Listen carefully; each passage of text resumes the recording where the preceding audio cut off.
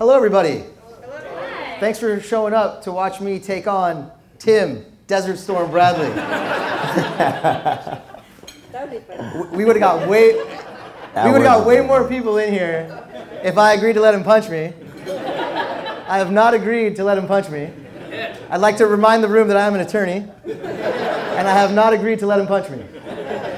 I wouldn't punch you. Only because I'm an attorney. Well, I'm smarter than that. No, if even if you wasn't one. well, thank you. I feel much safer now.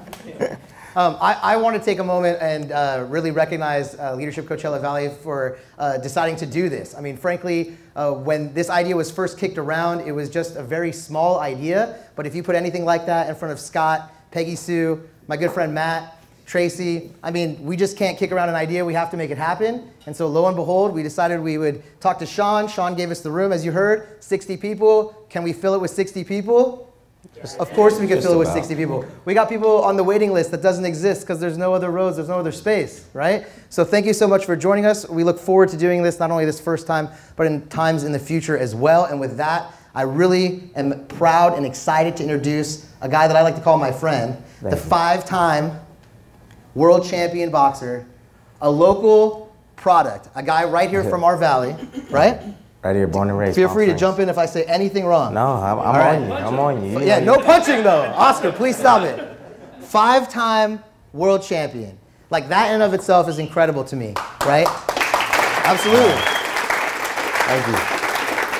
I'm going to pick this up because I want to make sure I give the right, right titles. Two-time WBC light welterweight champion, the WBO light welterweight champion, and a two-time WBO welterweight champion. Ring Magazine referred to Tim Bradley, this guy right here to my left, pound for pound, one of the top three boxers in the world. Yeah. In the world. Wow. Yeah. At one point. Take it easy, all right? Let us, hey, let us shine I, some light on you, all right? Oh, you know how I go. Come on, let us go. I'm all right? always critic. Hey, no, this, this is all true, is it not? Yeah. It is all true. This is true stuff. Oh, by the way, feel free to eat. By all means, feel free to eat. We're going to be talking here for a little while.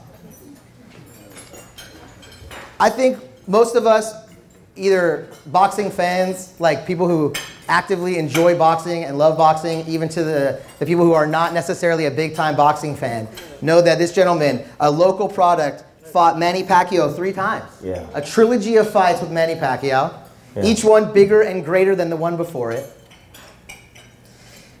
First professional fight, August 20th, 2004? Yes. 20, what, nine days away from your 21st birthday? Yes, it was. Retired? No. I mean, from boxing. Well, from boxing. August 6, 2017, by way of Instagram. Pretty much. So, with that as sort of a background, it's my honor, it really is my honor, to finally get a chance to talk to Tim Desert Storm Bradley in front of other people. Well, thank you for having me. First of all, um, I can speak, I just want to give all praise to God for allowing me to be here today, uh, to speak to everyone here, and hopefully my story would impact their life in some, some way or shape or form. Um, I, as Amir was saying, I am homegrown.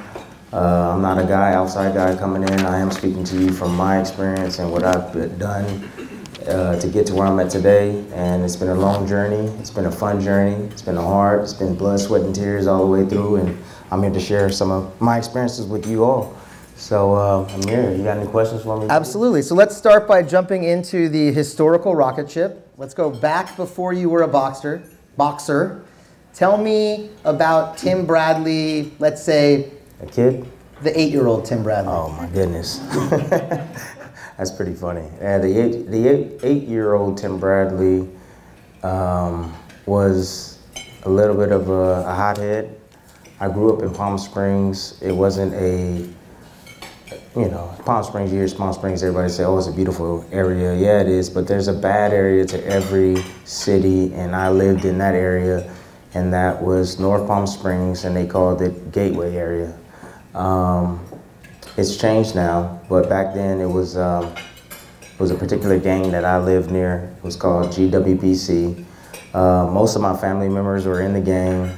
Uh, my uncles uh, were selling drugs on the corner. Um, my father and my mother were deep in my life, but when I left home, it was when things always seemed to change. Uh, you know, you can definitely become a product of your environment depending on where you live at. That's the reason why I choose environments for my kids that I like and I want from them uh, because of the environment that I grew up in. Um, I was a little bit of a, I was a short, well, I'm still short, but I was a small guy, had a big heart, big heart, and um, I was driven. I was self-motivated um, from, I don't know, I think I was five years old when I first saw a motorcycle. I wanted it. My dad told me that I had to do 100 push-ups and 100 sit-ups every single day until I was six years old to have a motorcycle for Christmas. And I did that every single day. So I can tell you right there the determination that I had and the will that I had right away. And I, I think I was born with that you know, in the beginning. Did, did you get the motorcycle at I did get the motorcycle. I actually got two. So I got two motorcycles. One was a 50 Zinger. It was red. It was beautiful. It was hot. Oh, so I still remember like yesterday. And then I also had a, got an 80 because he knew that I was strong enough. I was gonna outgrow that 50 and I was gonna get bored with that. So he gave me an 82 to go with that. Okay, so were we doing push-ups and sit-ups because we thought we might be a boxer one day, or? No, I was doing push-ups and sit-ups because I needed to get my physique stronger to be able to handle the the speed of that that motorcycle. Okay. And my dad was always training, um, physically training, and he was he wanted to be a bodybuilder. But once he found out he had to take drugs, he decided not to go that route. But as I was saying, um, when I was young, I was I was driven. I was I was a little bit on the bully side because I was always shorter. People always pick on me and all the time, and the way I was raised was was to never allow a guy to disrespect you, and being around that environment with a lot of kids were, you know, a lot of kids were very disrespectful, and uh, they would look to take advantage of you, and I didn't allow that to happen. So I kind of became the bully. And second grade, I got expelled out of school for fighting. Uh, I remember I was uh, I had over 100 fights that year in second grade. I fought every day. I was in office. who, who, yeah. who was who was your promoter at that? No one. I still remember the principal. His name was Mr. Mahoney. And uh, it was back in the days. Yeah, I don't know if he's still around. You saw him a lot, probably. But I saw him every single day. um, I was one of those bad kids. I'm, I don't know if anyone that worked for a school district in here, but I was one of those kids. I was always in the office. Oh, here he comes again. Here he comes again. What do you do now? And uh, so I went on, third grade, went to a different school, fourth grade got expelled out of that school as well. My father at the time worked for the school district and they gave me a little grace and I went to one school that was close to my house named uh, Vista Del Monte and all of my friends that I grew up with went to this school. So it was kind of like, uh, I don't know, setting myself up for failure. But um, the end of fifth grade is when I discovered the love for boxing and I discovered boxing. So. Um, All right. So uh, when you're a fifth grader who discovers what they call what the sweet science, right? Sweet science. What, how do you how do you develop from a fifth grader who likes to watch boxing to a fifth grader who is boxing? Well, at the time when I discovered boxing, my friend was was actually boxing at the time. His name was Julio. Still remember him um, today. I talked to him about a few months ago. Um, he was boxing at the time. We used to always play around slap box. So he said, oh, why don't you come down to the boxing gym and try it out? So I, I begged my dad for about two months. And uh, my dad didn't want me to fight. And, you know, it, I was so persistent. You know, that word persistence is, is, is the reason why I'm where I'm at today. But as I was saying, I was so persistent and I, you know, I always get what I want. There's no doubt about it. I got the motorcycle. I've always been that way. I, I have to get what I want. I, am willing to earn it. I'm willing to do whatever it takes. And I persuaded my father to take me to the boxing gym. And I thank God that he did because let me tell you, um, when I walked in that gym, it was like, to me, it was like walking into heaven. It was like, I don't know, something came over me. I loved it. Um, I loved everything to do with it. I, I love the fact that I get to fight people and beat up people and don't get in trouble for it. It was so cool. And then I get to win a trophy, and eventually someday, you know, they're gonna pay me to watch me fight. And I just thought that was just the craziest thing ever. And I'm like thinking to myself, like, this is the best sport in the world to me because this is down my avenue. So, so you mentioned at the beginning though that your dad wasn't No. immediately supportive. No. So, at what point did your dad go from being someone against your passion to being someone? Because it's my understanding he became a central figure in Yes. the development of your skills. So, at what point does he transition from uh, someone who doesn't want you to be a boxer to someone helping you be the best boxer? Well, when he saw that I was a natural, I had natural instincts, um, and he saw that when I sparred my friend the first time, my friend actually beat the crap out of me, and I sat at the edge of the ring, and my dad looked at me and said, "I told you this sport is hard." He was like, "I told you, son, this sport is hard. You still want to do this?" And I said, "Yeah." And he was just like, okay, well, you know what we got to do then? I said, I want to get better because I'm not going to go out like this. Like, I'm not, my friend just embarrassed me and I got to get him back. Okay, real quick, I gotta jump in because I'm. I'm uh, my personality uh, tends to be that friend. So th- this friend, I think you said his name's Julio. His name is Julio. Does he still talk about that time he beat the five-time world champion? No, he knows, he knows better not to because I, I said, that was one time, buddy. That was one time. And every, I mean, he was training for about three months and I'm just coming in and there was a conditioning program in the beginning that I had to go for two weeks, but I only did three days of it because I was the strongest kid in the gym. And I was the youngest, one of the youngest ones in the gym, but I was the strongest. I could do more pull-ups and push-ups than anybody. And that due to the background from my father and getting that motorcycle, you know, so no, I, I wanted to get better. I wanted to like for me, my, my personality was to always try to be the best. The way my father raised me was was, you know, always try to be the best you can possibly be. And anything you do, you always put your best foot forward. You know, be the best that you can be, son. So when I got that butt whooping by my friend, it just motivated me to to train and do what I had to do to get better. So I mean, I, I lived boxing, I read boxing. I mean, I get up in the morning, I'll be shadow boxing. I would go to school, I'll be shadow boxing. I get in before I get in the shower, I'm shadow boxing. I mean, I'm so into what I was doing and and so focused that if you took it away from me, I I would cry. I would get upset about it. You know, I don't know if anybody have. I'm pretty sure kids, people have kids in here, but do you ever have a? Do you ever have one of your childs or one of your kids? You know, if they you don't allow them to do something that they want to do, they start crying. Well, that would, well, most people it's like candy. They want candy. They want you know, kids want you know something. Play the video iPad. game. No, iPad, no, but mine was boxing. I wanted to go to the gym, and when I couldn't go to the gym, it was like it was it was like the end of the day for me. It was like a nightmare. Um, it was just something that, that driven me, and, and, and not something that I wanted to do on a day-to-day basis. All right, so I mentioned in the intro you were 20, like nine days, I think, from your 21st birthday and your first professional fight. You're 20 years old, almost 21. We fast forward to today. If you could go back and tell the 20 year old first night fight Tim Bradley something, anything, what would you tell him? Be patient. Be patient. Um, I was never. I, I'm never. Been, I'm still not patient. like I, I'm not patient at all. Like like I tell you, like if I want something, I won't stop. I won't stop until I get it, man. Everything that I've earned in my life, if I've, I've always been that way. Like I will do whatever it takes to get what I want, and in a positive way, not in a negative way, in a positive way. And I will work extremely hard to get it. So um, I would say patience because right out the gate, my first fight, there was a championship fight going on, on in the main event, and they were around my weight class. And I fought. I knocked my guy out in the second round. I saw the matchup. I saw the fighters, and I looked at my trainer. and I said, "Hey, can we? Can I fight that guy for that belt?" to, to, Like you know, right next time. No, Oh, no, no, like okay. next the next my next fight because Okay. I can beat him, and I want to take his belt. You know, so it, like I never had patience, and and it drove me crazy. Did they let you fight that guy? No, they didn't. So you, you had to go on and on. Did Yeah. You, did you ever fight him? Did you eventually?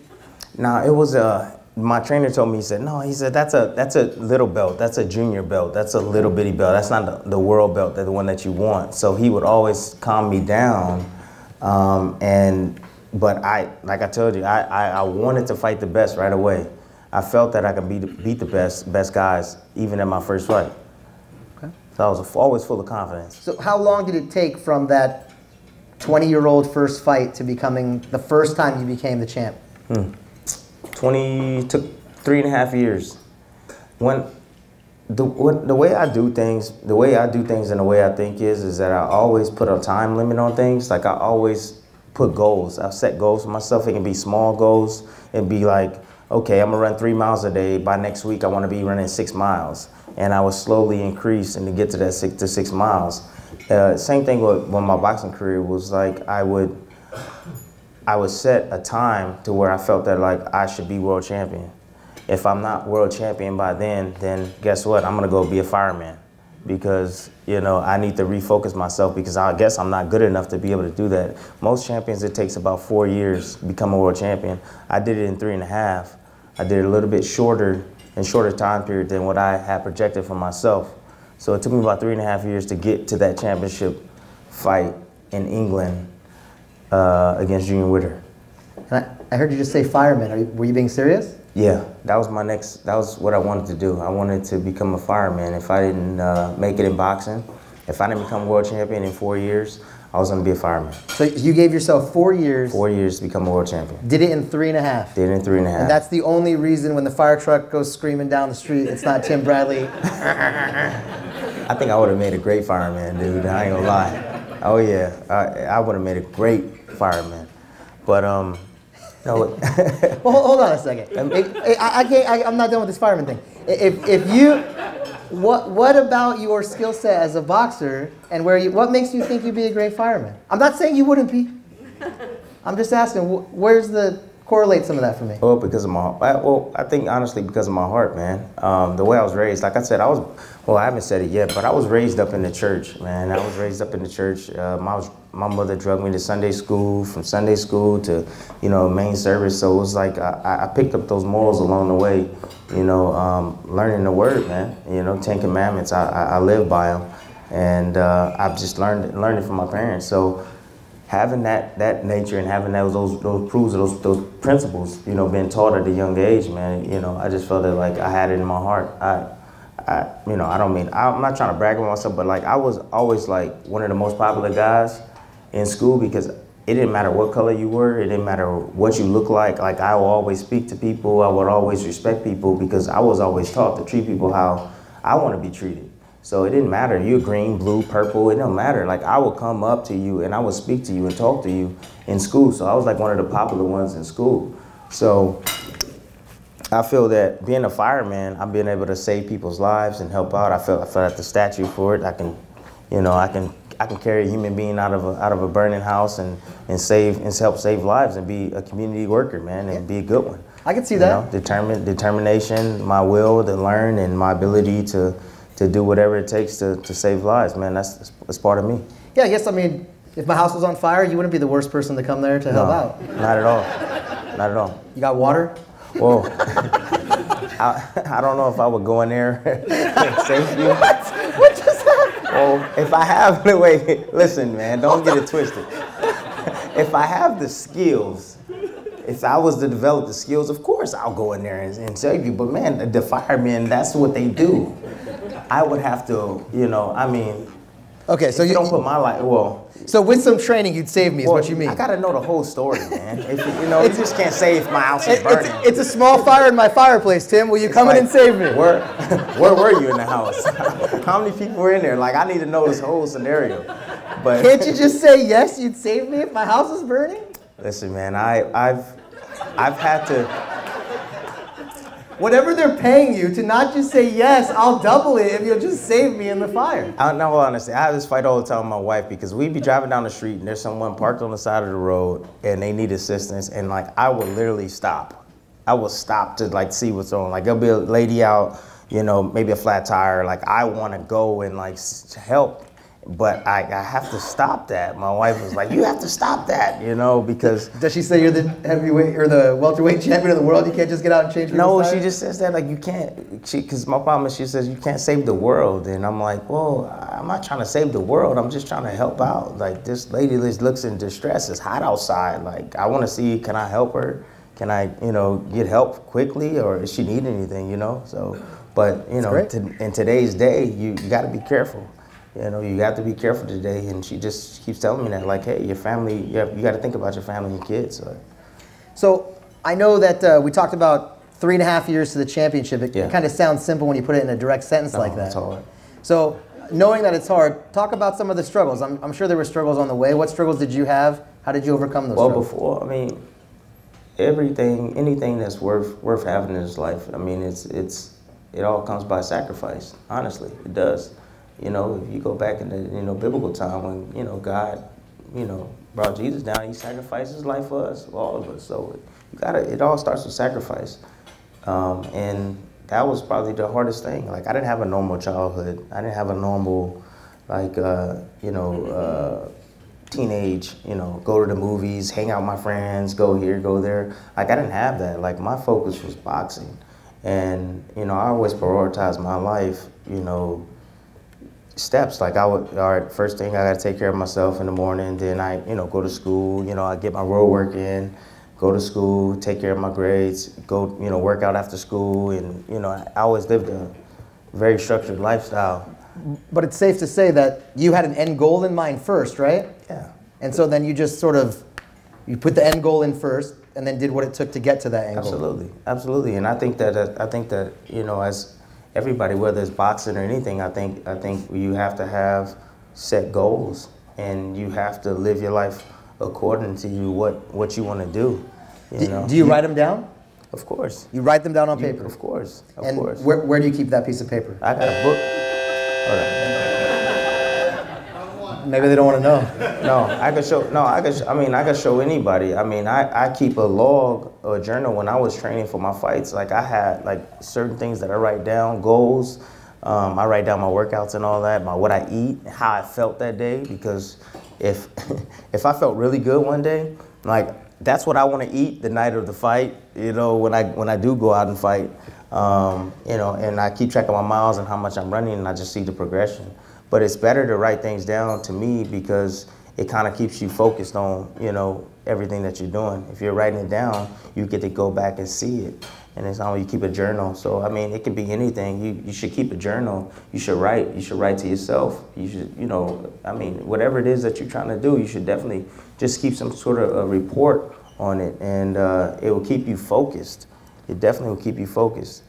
You, do you think writing those goals down and things like that, you think that helps separate and helps you achieve those individual? Absolutely. I think there's a lot of other factors, but I think writing them down and is and believing it is is what you know you need to do. I think that's the first step to it. You know, writing it down and knowing that it can be accomplished. Anything and with time and like I said, the planning and then structuring your life.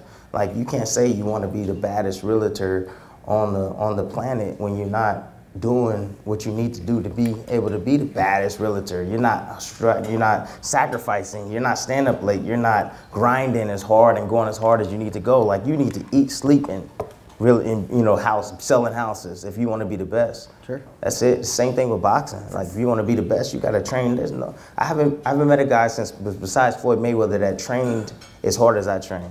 I mean, it'd be 120 degrees outside, and I'm outside running. You know, because I want to put my body through hell because it's hell in the ring. So the more I stressed my body, I felt it's okay. The more I stressed my body, I felt that you know, the more I prepared myself to, for battle. And like I wasn't the most talented guy in the ring. I wasn't the most talented fighter. You know, uh, I fought guys that were a lot better than I was, skill wise. You know, um, but I wanted it more than them, and I always prepared myself, you know, for the worst. And I was always able to endure whatever they were dishing out. I was always able to endure it, and then just step on them, you know, to, to win, to edge out a win or victory. But the only guy that I haven't been able to do that against, well, one time I did, but it's Manny Pacquiao. You know, his will was and his skill level were above mine. Um, even though I fell short, I still felt that like I, I, I won because I made it to the top of boxing, to the pinnacle. There's no higher place than where I went, you know, in, in the boxing sport. So if you could vote in the Philippines election, would you vote for Manny? Absolutely. I would. He's a good dude, man. I know a little bit about the relationship between the two of you. Do you mind sharing with everybody a little bit about that? Because I think there's some incredible qualities uh, that almost anybody could learn from when it comes to that. Well, Manny Pacquiao is well, well our relationship is, is like you know we're uh, we're cordial and uh, it's more of a yeah hey how you doing buddy hey Timothy you know I mean we're we're cool but um, L- let me be more specific. When, when you and him first agreed to fight, you told me that he called you. Yeah. Can you Well- share that story? Well, Manny Pacquiao, Manny Pacquiao has a, has a big heart on him. He has a country that he helps supports, and he's built. Many don't know he built over 3,000 homes for like the poor out there. He spends a lot of his earnings. His, that's why- the reason why he's still fighting today. And uh, before we had our first fight, he called me, and uh, he said, "Hey, thank you for accepting the fight." I said, "No, thank you. Appreciate it." He's like, he said, "I hope this money helps you and your family." And I said, thank you. Thank you for the opportunity. Thank you. You're a good man. Thank you for choosing me and wanting to fight me. And uh, because it was a $5 million paycheck, you know, I mean, I mean, coming from Palm Springs, the ghetto, and I mean, not having, not having much, man. You're gonna give a, give a guy like me, a small guy like me, five million dollars just to fight you? Come on, man. I'm, I'm all there. I mean, I felt that like, I'm like, I'm like, I'll- thank you. I might take. I might fight you for I five mean, million. I'm thinking to myself, I'm like, thank you so much, Manny. You know, he's so generous. But you know, and then I had three, I had two, uh, two more altercations after that. You know, Manny Pacquiao, I owe it to him. He's the reason why I have money today is because Manny Pacquiao. You know, because Is, of the fight. is that a com- is that common or uncommon for a fighter to call and, and have a conversation like It's that? very uncommon. It's very uncommon for a fighter to call another fighter, but uh, Manny's just a, a different a different person. You know, he's not a normal fighter. Uh, he's a legend in the sport, and I admire him and everything he does for his country. And uh, you know, he's a good guy. Yeah. Um, it's interesting. You, you have a lot of similar qualities. Is that? Yeah. You talk about him in a very elevated position, but you're doing a lot of those same things, right? Absolutely. Well, it's it's it's it's the element, like you said, it's the element. It's the God has given me that. I don't know that that that ground to be able to. That's the reason why I'm here today to be able to, you know, use it and give back and, and help people. I mean, you know, I was always taught that and raised since I was raised it's better to give than receive. You know, this goes goes back to that, that time, man. And you know, my parents dragged me to church every single day.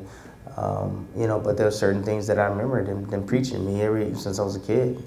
But um, you know, I just use these things, man. Um, I enjoy it. I enjoy giving back. I enjoy talking to people. I enjoy helping people. Um, I feel that you know, with my status, even my status, even if I wasn't at, you know, even if I wasn't at this status, I still get a get an enjoyment about helping people and helping others, man. Because that, honestly, that's that's the way of living, man. Honestly, So- when you can do that, these Yeah, things for people. And that's great. The ability to help other people is obviously a, a, a wonderful trait. Let's talk about some mentors you had. Did you have any mentors on your way up? Absolutely. My father, my father was one my mentor. Honestly, uh, my father was is uh, he works for uh, Palm Springs Unified. He's a security guard. But my dad uh, was raised without his father, and so you know, in most instances, uh, kind of like the the trait, that trait or that element from my father and not having a father, and sometimes it comes it follows it follows you know generation after generation. So you know my father could have been a could have been a horrible father but he chose otherwise to be a, a great father because he know how he felt when he didn't have his father in his life. So i would say my father i would say uh, you know my my spiritual background you know i would say that has a lot to do with the way i am today um, i've met a lot of great people and you know a lot of people i don't know how many people think that, to me, that, uh, well, I want to know your opinion. How many people think that leaders are born? Or do you think leaders are made? Show of hands for Show of born. hands. Yeah, let's go do you think leaders first. are born? Born? Had a couple. Yeah, the- I, I hear a couple boths out there. They're both. Both? I, I believe that they're both. I believe that leaders, I think that leaders definitely have certain qualities, and I think everybody in here is a leader. Honestly, if you're here today, I think you're a leader. Um, they have certain qualities, certain certain characteristic, certain characteristic traits that, that leaders have. It's just like uh, you could say that some are born because like I can't play basketball, but somebody else can. I mean, that's something that's a trait that they have. They can play basketball very, very well. Sure. I don't care how much I practice. I can't play basketball at that level, but that's a trait that they have. You get what I'm saying? Sure, sure. So, but at the same time, I feel that like you know, some people have those leadership skills. They're born that way. They're driven. They're, I mean, they can they can come and they can they can talk to anyone and, and, and persuade anyone. They have those abilities or those traits to be able to do that. And Um, but I also think that it can be taught, and I think that I was more or less not born with it. I think I was taught because having good people in my life and being around different people, you know, has helped me grow. You you learn, you know, the knowledge and uh, from other people, and by reading and um, just living life in general. So I know you uh, were coaching some football here at La Quinta Yeah. High School for a little bit. I know that you're very active in a number of like youth programs, Yeah. uh, the Boys and Girls Clubs, things of that nature. Um, Yes. What what are you trying to do? Wh- what is it that you're trying to uh, impart on the younger generation when you're uh, taking the time out of your day to coach high school football or to go to the Boys and Well, Girls the Club? main, the main thing is that there's a stigma, especially with celebrities and sports sports figures, that we don't we don't take a shower like everybody take a shower, like something or something magical about us. But in all reality, I want the kids to understand and know that hey, I'm just like you. Just because I, I just fight very well. I, I just know how that's my gift. I know how to fight, but hey, I could still go out here and pick up trash, you know, in the stadium. I could still go out here and coach and be with you guys, you know, and be normal. And I want the kids to know that and understand that that hey, just because you see that guy on TV doesn't make, you know, he he's special in his way, but it doesn't bring him to God level. You know what I mean? Bring him like, wow, he's you know he's everything. You know what I mean? It's more like hey, he does this very well, but yeah, he's a normal guy just like us. And I tell guys all the time, like, hey, I'm just like you. I just fight. I just fight well. What do they react like when you say I'm just like you? They don't know. No, no, you're not. No, you're not. No, no. What are you doing out here? It's like I, I you know, we, we have the restaurant House of Pokey, and it's like I'm in the back and I'm working, and people's like, "What are you doing here?" And I'm like, "What do you mean?" They're like, "You go from boxing to making poke bowls?" I'm like, "Yeah. What's wrong with that?" I'm like, "What's wrong with that, man?" They're just like, "Wait, what happened? Are you fighting anymore?" I'm like. I'm like, man, like, no. I was like, my wife and I, we own this spot, man. But, you know, I, I'll get my hands dirty. I'll clean tables. I'll do whatever I need to do. The hard work never ends, man. And um, I don't stop. I, just a common thing that I always tell my kids all the time. I always say, don't tread water. Don't. Don't tread water. I said, you know why? That's the first step to dying. To me, that's where I believe. It's like, you know, you get comfortable in your life and, and, and everything's going so smooth and you know, you you know, you have your 401k and you have this and you know, you might have one house or this, you know, and a lot of people they just get stuck in that, that zone and they don't want to grow. They don't want to go to another level. Like I'm different. I'm a I, I'm a risk taker. Boxing, it, you take a risk. You have to take risks. And you know, the more uncomfortable I am, the better it is for me. I like to be uncomfortable. I like to feel uncomfortable um, in, in everything that I do. Like opening this restaurant was very uncomfortable for me because guess what? I'm not using investment money. I'm using the money that I've made. You know, I'm taking a risk, but I know how much work or how much how hard I'm gonna work.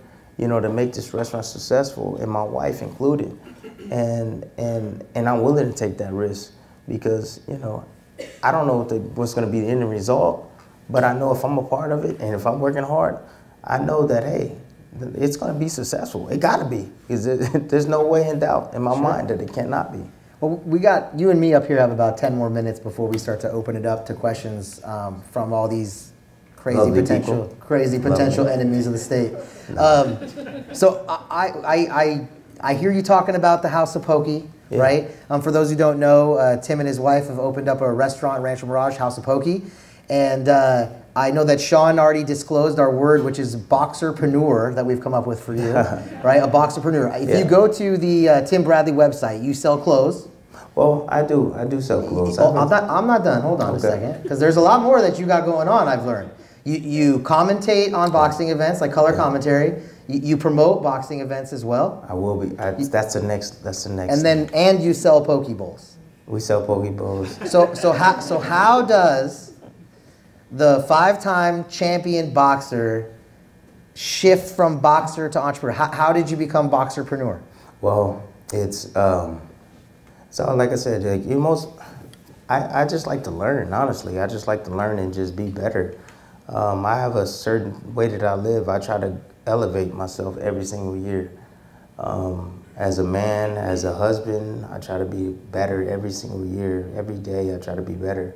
And so it's like, um, like I said, don't tread. I don't tread water, man. I'm always looking for land. I'm always looking to find ground somewhere and do something different and just keep elevating. You know, I, I want to take what we have now, the nest egg we have now, and then I want to build it even bigger. You know, every year, even if it's by fifty thousand, even if it's by thousand dollars, I want to keep growing, man. You know, I want to keep going. If I, if you got a house and if it's not paid off yet, let's try to pay that house off. You know, that's the way I think. It's like, hey, if I have my house house paid off, it's like, hey, that's three, that's two thousand dollars in my pocket. I can go and invest that money in something else. So that's the way I think. You know, and uh, we have real estate too that we do, and we don't have no real estate company that you know any company that actually take care of our homes. We actually take care of myself, um, and I like real estate. And plus, another thing is, is I do my own um, investing. So I've learned. My accountant had taught me taught me five years ago how to invest money in the market. So I do my own investing too, and I do have a bank that I invest with as well. But I do have I call it play money, where I go and I and I make some trades and I have some fun with it and I have some long term, you know, uh, trading options. But I also have some short ones and I call that play money. Okay. And uh, I made I did, I did good this this this quarter, man. I did real good. hey, man. I did really well this quarter, and and, and that's should, why should we talk some specifics here? You have any tips, any stock tips for the crowd? Any? Man, no. Well, I think. How do you feel about Facebook or Amazon? Well, I mean, I wish I would have bought Facebook a lot earlier, but um, Said, I agree with that statement. Just for the record. Yeah, I, I could have bought it earlier, and I didn't. And then when I did buy it, I sold, and I made a little profit, but all money is good money to me in the market, you know. so, but but I do that too. But I'm always willing to learn. Um, if you guys, are, if you don't know, no one knows it all, and I, I know I don't know it all. But at the same time, if, if you're looking to learn and and and to grow, you know, you, you got to be optimistic, man. You got to be optimistic, and you have to be willing to to to take things that you know that you know that can help you, man. Sure. Honestly, you have to be. I think you, you got some, you lit up some faces when you said I like real estate and I like invest. Like certain faces really got excited about that. Just so you know. No, yeah, so, I'm sure there's some people in here no, that are happy to help you out with any of those. Well, uh, check this out. I got a real estate guy. I do. I mean, if, if I get tired of him, I have to look somebody else. But I got a way. I just got a way of. My way of thinking is a little different. Um, I. So like when I buy real estate, I don't finance. I like to buy my houses cash. And I know I can have, I probably have probably 40 homes, 40 homes that I have mortgages out on, but I don't feel comfortable having that. You know, I don't like debt. I hate debt. And I don't know, it can be a bad thing, but like I like to own everything. Um, and I don't like to have to pay anybody back. So my, the way I do my real estate is a little different. I buy my houses cash and to me, it's like just gravy. So I get a renter, it's just uh, gravy. I don't even need the money, so I'll just take it, I'll throw it in an account and let it build up. Build up a few years, guess what? I'll buy another house. I'll buy another house. But the reason behind the way I do it is before you go, is because the bank ain't giving me no money. I hope there's no bankers in here. But the bank's not, just keep going. But the, bank, the bank's not giving me any money for my money sitting in there. So you know, why should I let it sit in there when I could just buy something cash that makes sense? And it's like I look at houses as savings accounts. So I'm like, ah, 300k. All right, that's a savings so, account right but, there. But do you think the 20? do you think the 20? Let's go like going back to. You think the 10 year ago Tim Bradley no. would have been like, I'm gonna be a real estate. I'm gonna buy cash. No, no, no, no. Because I, I, I, I learned. I, like I said, I learned a lot from reading. I learned a lot from just watching and how people do things, and I try to not make those same mistakes. So, like, I don't want to be another statistic. So I, I try to make smart investments. I've made some dumb investments, I really have, and lost lost some money. But I also learned a lot along the way as far as uh, you know, willing to learn how to play the market. You know, real estate. You know, um, when with people that have money, they don't look at you know uh, problems as issues. They look at them as like more opportunity to learn and to grow and to get better. And that's the way I look at it. It's like, hey, okay, this happened. Well, you know what? I know not to do that next time, so let's do this this time. So okay, so let's go the other way. Go ahead. Ten years ago, you're doing very different things. I mean, we weren't serving anybody pokey ten years ago. No. So ten years from now, what are we going to be doing, Tim? Ten years from now, um, I don't know. You know what? Honestly, I this is the vision. I'm gonna tell you what my the goals is. My wife and I have. I told her, I said, hey, we're gonna build a brand. It takes about ten years, from my experience, to build a household name, a brand. Because I'm using I use boxing as like my experience. Okay. So it took me ten years to to be you know to make serious money in the boxing game. It took me ten years. So I look at it as, and I've read that it takes about 10 and a half years to become a professional at something. It doesn't matter what it is, it takes 10 and a half years to become a professional. A little bit over a decade, so one decade. So it's, um, so I look at that, I say, we're gonna own, we're gonna own three or four House of Pokies ourselves. Then once we get that cookie cutter and we can show people how much money they're actually to be making and being able to generate, then what we're to do is we're to franchise. We're to franchise to people. You know, we're going to look for you know franchisees. If anybody want to buy a franchise, we've had like ten people already come up to us. Mm-hmm. We're like we're not ready yet, no. But once we figure that out, we're going to start franchising. So in the next 10 years, you could possibly see maybe 10, 15 House of Pokies. You probably see that. And we're going to try to get bigger and bigger and bigger and bigger. And then one day, within these 10 years, we're gonna get tired of doing this whole House of Pokey thing and we're gonna sell it, sell the franchise off to maybe, I don't know, by the time maybe another Pokey spot that, you know, is looking to buy up all the rest of the Pokey spots, I don't know, and wants to give us, you know, $50 million, 60 million, I don't know. Yes. You know how much it's worth? Sold.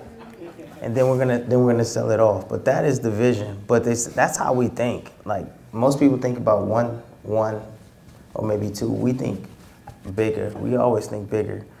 This promotional thing. I had one of my guys. I'll give you an example. A guy that I'm working with. He's like, "Oh yeah, we can uh, start promoting fights. We could do this. We could do that, and then we can do like another guy. This other guy that's up in Fresno. He puts on big fights. He has a fighter that he has signed, but the guy is signed by Top Rank. But anyways, he puts on fights for Top Rank, and he gets a little percentage of the money. And I'm like, wait, huh? What?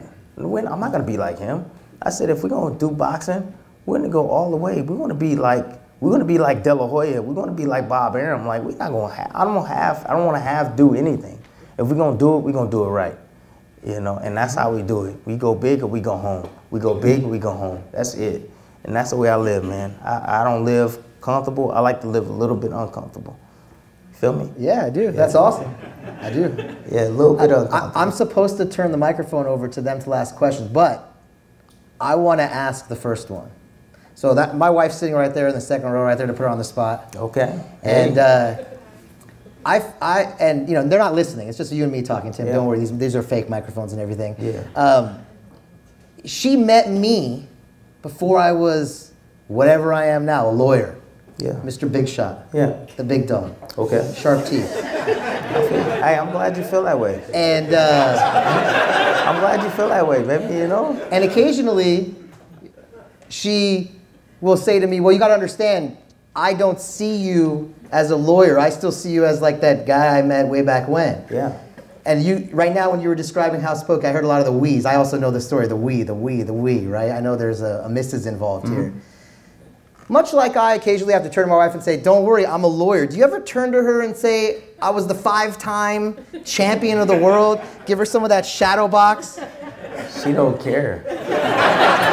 She doesn't care either, Tim. She doesn't care either. She don't care, man. Thank you so much uh, for your time. I, I wanted to see if anybody had any questions Man. uh, for Tim, not of me. I got a quick story, real quick. Before Please. You head out, man. I really do, and and I don't know if there, there's a few couples in Just here. don't get me in trouble with her. But but one of the things a lot of people don't know is that when I fought for the world championship, two things happened. Okay, it was close to 2000, 2008, and that was when the market tumbled down, housing market, the whole nine. You know, you know the uh, house payments went up like crazy, um, and so did ours. And one of one of my important fights fell through. I didn't get paid, and I wasn't working. My wife was working at the school district, and we come home from a late dinner, and we haven't been paying our mortgage because, you know, in order for them to even talk to you about refinancing, you had to show delinquency. You couldn't you couldn't pay anything. So, we didn't pay anything. We saved a little bit of that money. Um, but I also was training for a fight, so I was training for a title eliminator, so I had to spend that money to get sparring partners. You know, I had to pay for sparring partners. So we are using that money. Anyways, came home with the kids from dinner, and we had a 30-day eviction notice on our house.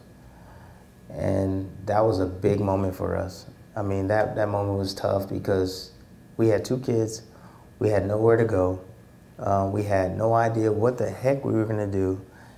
And I mean, that night I remember me and my wife crying together, crying together, man. You know, um, on that pillow that night, man. Um, it was a very stressful time. It was very uncomfortable, but I, I, have to share with you because I know people go through a lot of a lot of things, and you got to go through some things in order to make you stronger, man. God puts you through things to make you stronger, honestly. Sure. And so um, that happened, and then the fight fell through. I didn't get a paycheck at all, and I was going to actually start doing personal training, doing whatever to make you know make ends meet. And my wife told me no. She said, "No, we're gonna get through this. I'll find a solution."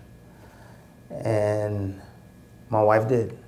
She did. She held it down. She found a guy that can that helped us refinance our house, and so we didn't get evicted.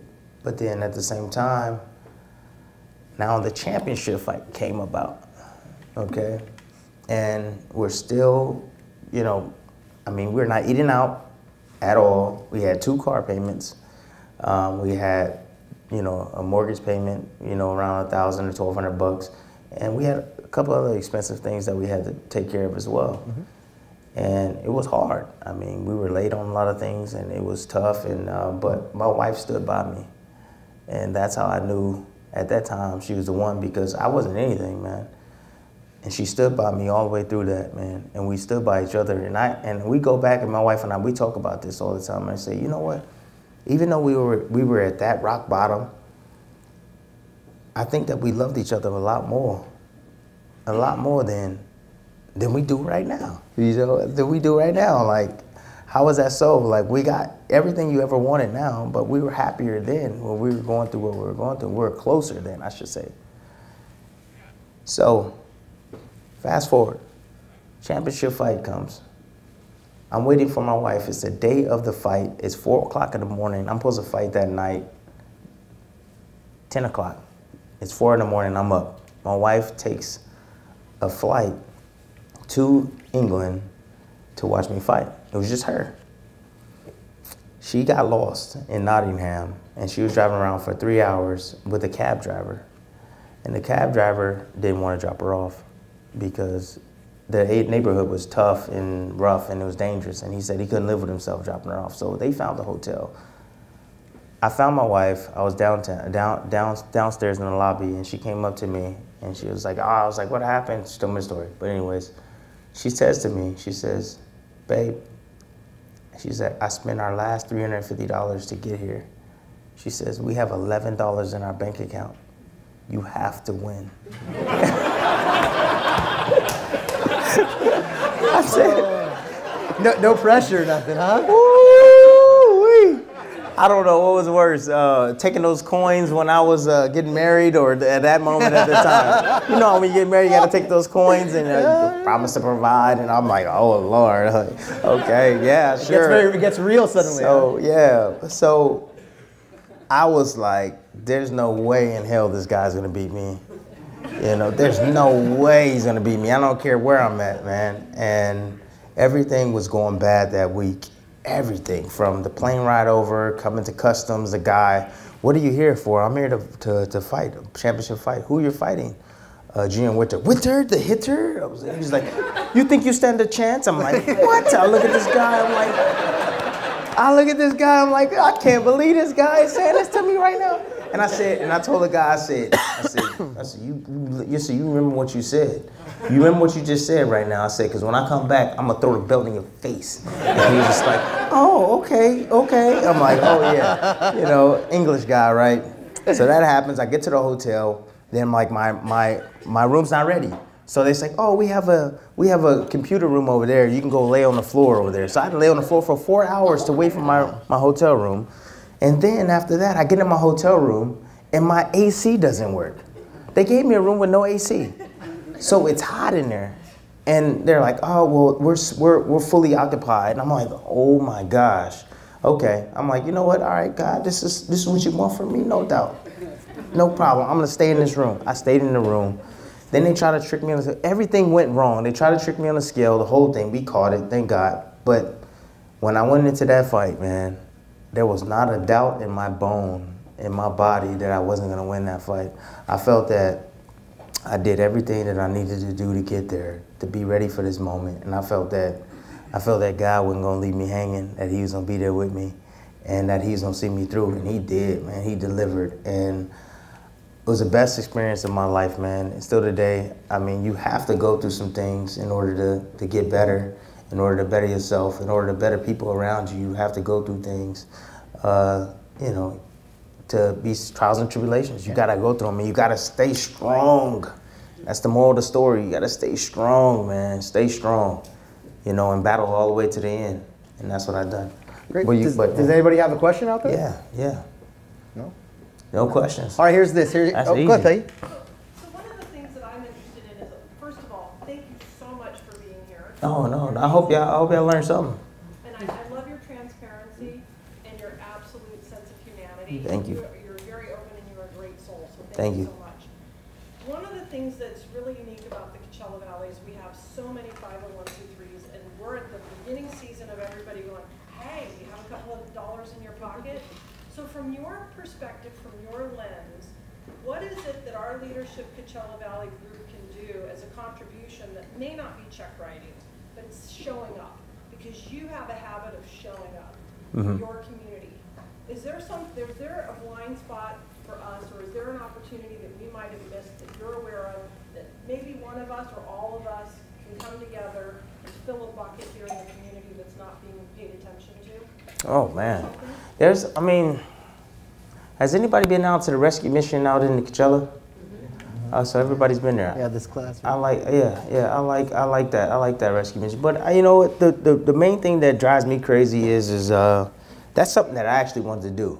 Somebody beat me to it. That's something that I actually wanted to do, and I told my wife about it because the biggest thing for me is is um, uh, I, I can't stand seeing homeless homeless people around. I just can't. It's hard for me, and uh, I want to help them. And I know sometimes some of these people they can't be helped because they're mentally messed up. Majority of them are mentally messed up, and they rather live in their world, in that world. But um, I think that's something that we can get together, uh, you know, to do. I mean, you know, um, trying to bring them in, bring them into the shelter, showing them.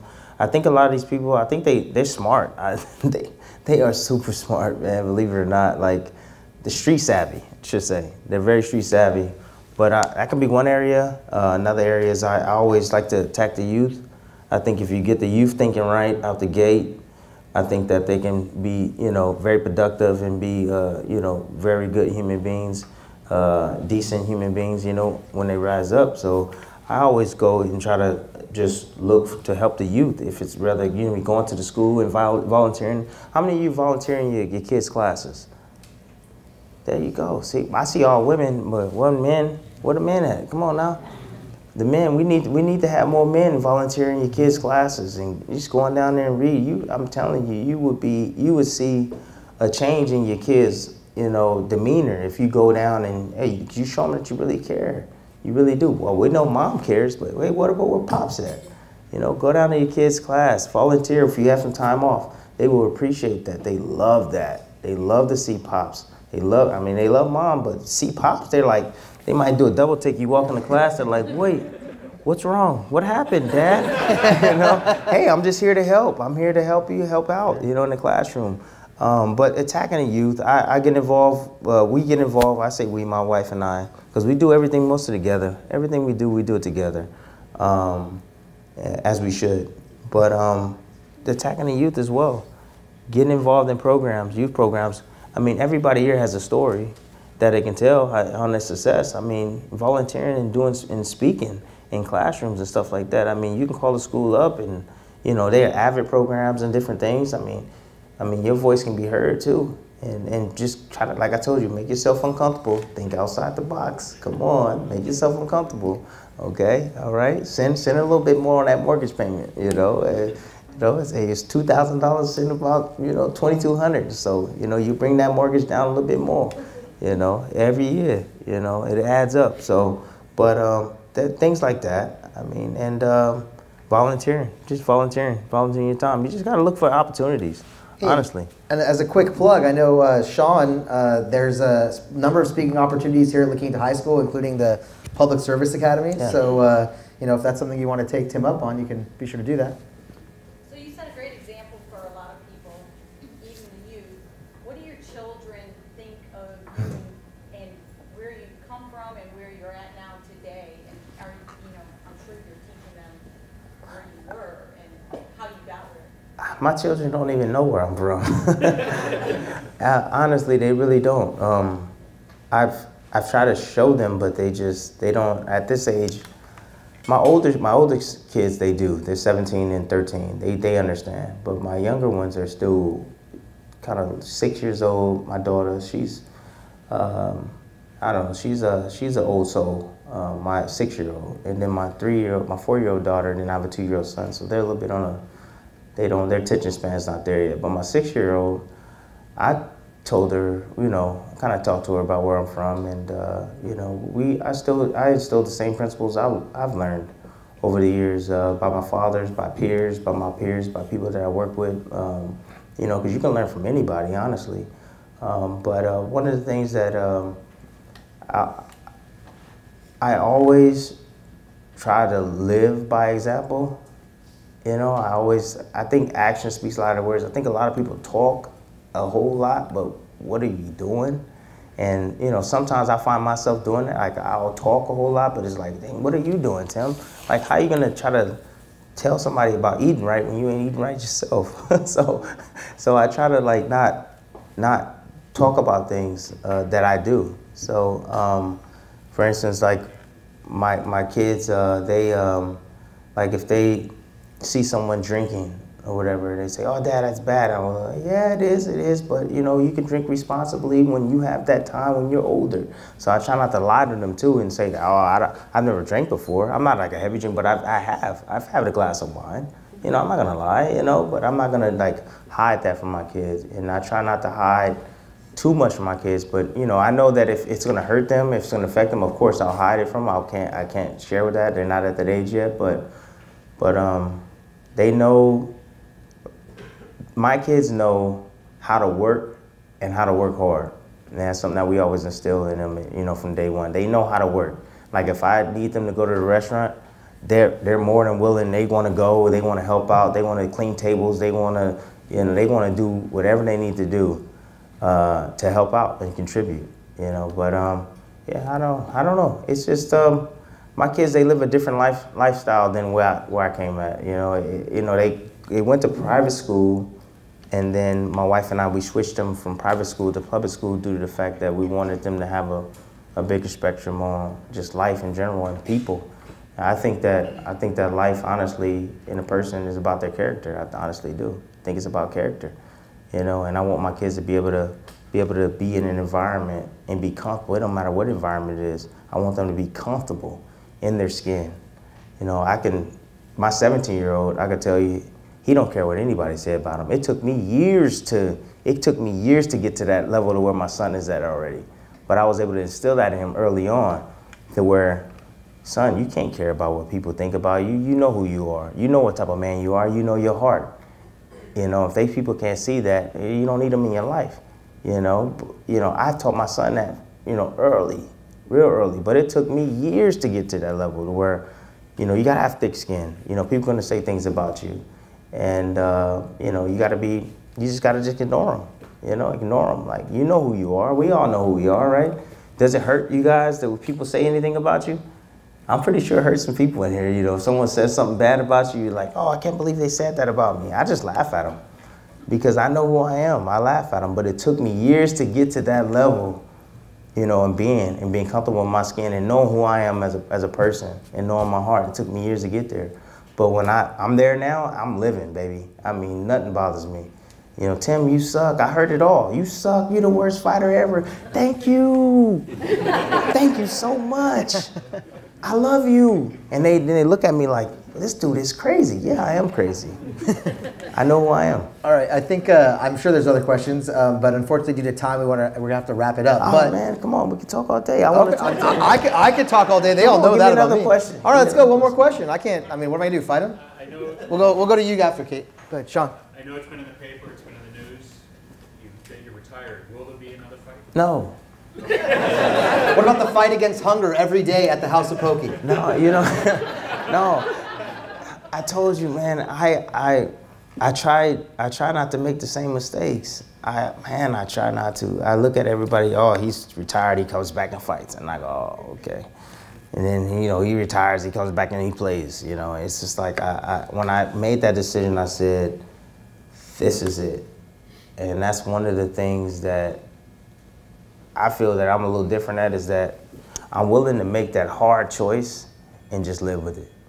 You know, my dad, my, my dad, uh, going back to my parents again, my dad always said, hey, a man got to make a choice. And once he makes that choice, he sticks by it, no matter what. You know, he don't, he don't flip flop. He don't. So when I decided to make that choice to retire, I'm done. I'm never going back to fighting, ever. Even with Mayweather McGregor money come. Nah, won't Okay. go back. So that's money, what money don't move me, man. I hear you. I'm good. Well, I take that back. Money does move me, but to a point where where my integrity and, and you know my word, eh, I, it's not worth it. To me, it's not. Kate. Uh, would you support any of your kids if they decided to be a, a fighter? No, my kids know that there's no fighting in my house. I say, I tell them, I say, listen, daddy, daddy, daddy did this for a long time, and daddy did this for you. So no, I'm, you're not gonna fight. But my son seems like he's heading in that direction. He's two, and I know, I know. How, how, how, how do you determine a two-year-old is headed? I mean, I'm just curious. Uh, how do you, how have you determined the two-year-old is on the path to the? It's all the, it's the temperament. It's his, it's just the way he is. It's his He's in stature. diaper It's like. his- no, he's just he's just a, he's aggressive. You know, he's aggressive. Uh, he's seen it. You know, he's seen me do it, and he just wants to do what daddy wants to what daddy does. So um, I try not to do. I try not to practice in front of him and stuff like that. But he seems like he's going that direction. He's always want to fight, fight, fight, fight, fight, fight, daddy, fight, fight. But, and he wants to wrestle. That's it. I just want wrestle. to. I, I wouldn't fight the kid. Naren. Uh, uh, I compliment you on making the decision that you've made to stop fighting. Thank you. Time in your life, and, and you've got so much to live for. I hope you stick by that. I will. Earlier, you complimented your opponent, uh, Manny Pacquiao. Yes. For what he does for his country and how involved he is in his country. Do you see a place for yourself in the future as perhaps a, a, an elected leader? Politics is not my thing. Bradley Afsar, 2020. Politics, no, no, no, no, no. Um, politics is really nah. I- Politics are tough. I I'm not a fan of, of the whole politics. I mean, I, Too much fighting? Any politicians here, great. No, because it's it's hard to. It's hard to be in the middle. It's hard to be in the middle. It's hard to be on the fence. I mean, you know, you got to have certain beliefs, and it's just it's just tough. It's it's difficult because you can't please everybody. You know, that's one thing in the sport of boxing. You learn that right away. You cannot please everybody, and you just have to just be comfortable with yourself. And so I don't want to be involved in politics, not at this moment, but maybe in the future. I don't know, but that's not on my that's not on my agenda right now on my plate. Absolutely not. That's tough. Oh, yeah, yeah. Politi- you you want to be a politician? Not really, but Bradley Afsar sounds. I mean, ah. Afsar Bradley. Like that better? I don't want to. I don't want to. I don't want to pee off, piss off a lot of people, because that's what will I already do that though. That's cool, and you're comfortable with that though, huh? We'll- We'll probably be a lot gentler than what's going on right now, though, right? Yeah. Well, yeah. See, that's another topic. See, I don't even really see. There's a couple topics you're gonna talk about. So maybe we just wrap it up here then. Yeah. Let's not talk about. Let's not talk about that. Well, Tim, you, Tim knows. all, all the times I've had an opportunity to speak with Tim, they've been outstanding and great conversations. I hope everybody enjoyed this one. When we planned, when we planned for this, though, when we sat down and talked about um, what we were going to be doing today, uh, when I went home, I came across uh, a leadership quote, and I, I know we didn't have time today to talk about the the watch story. If, if you don't know, um, can you do you mind? Do you mind? Oh, my watch? Yeah. Actually, why don't you do it? Tell, real quick, the quick version, Reader's Digest. Tell the story about the Oh. gold Rolex, like The the, gold- one oh. you told me. Yeah, well, see, I told you, we, we always learn things along the way. And uh, I used to wait tables. That's what I used to do. I, I waited tables at Coco's, but and then Mimi's Cafe. And I used to have an opportunity to talk to a lot of just millionaires, billionaire, you name it. I mean, I've talked to so many different types of people. And uh, it was a gentleman there, and he was a millionaire, a lot of money. Um, came in regular jeans, you know, regular shirt. Just you can even tell he's a millionaire, honestly. But uh, he had a gold Rolex on, and I was like, "Hey, sir," because I always pay attention to weird things. I know I see shoes. I'm like, "Wow, those shoes are nice." It can be girl shoes. It don't matter. I'm just weird like that. I know people always say, "Dude, you like that bag?" I'm like, "It's hot, dude." But anyway, yeah, call it what you want to call it, but it's all right. Um, but um, he told me, he said, uh, I was like, man, that's nice. And he was like, you know what? He's like, if you ever made, if you ever made some of yourself, you know, uh, because I would always talk to him all the time, and I told him I want to be a fighter, I want to, you know, win the championship, and I want to, you know, make lots of money. And he said, if you ever get an opportunity, he said, if you're gonna buy a watch, you buy a Rolex. And I was just like, okay, all right, Rolex. And he was like, yeah, Rolex, they're the best. And I was like, okay. And he's like, and make sure if you want to let make a statement, you make sure it's all gold. And I said, okay, all gold Rolex.